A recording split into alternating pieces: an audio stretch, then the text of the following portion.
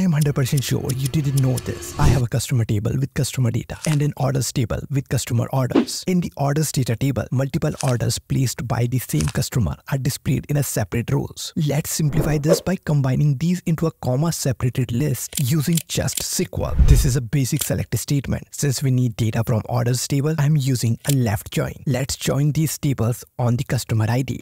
As we want to use an aggregate function, we need a group by clause on the customer name.